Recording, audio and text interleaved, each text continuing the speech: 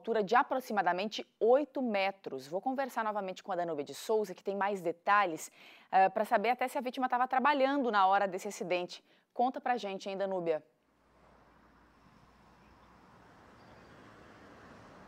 Pois é, Vanessa, estava trabalhando sim. É, esse acidente aconteceu no aterro sanitário de Timbó e, na verdade, contou com a ajuda de socorristas aqui de toda a região.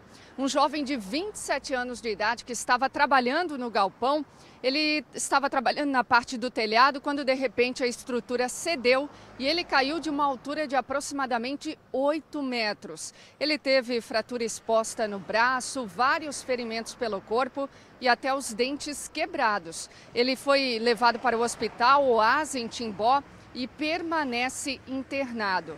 Ontem em Gaspar, inclusive, aconteceu também um acidente semelhante. Um jovem de 21 anos de idade estava trabalhando, descarregando materiais pesados de um caminhão quando uma placa daquelas caiu em cima dele. Ele também precisou ser socorrido pelo Corpo de Bombeiros. É, segundo informações do Corpo de Bombeiros de Timbó, Vanessa, esse jovem de 27 anos de idade não estava usando os equipamentos de proteção. Então é muito importante, a gente já faz o apelo.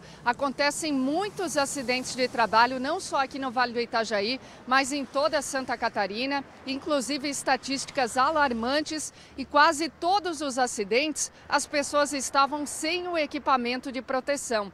Recentemente também aconteceu aqui em Indaiá um acidente semelhante, onde um homem caiu do telhado e quase perdeu a vida. Então já fica o apelo aí à comunidade, né, aos trabalhadores, que usem o equipamento de proteção para a gente não ter que relatar tragédias aqui no nosso jornal, né?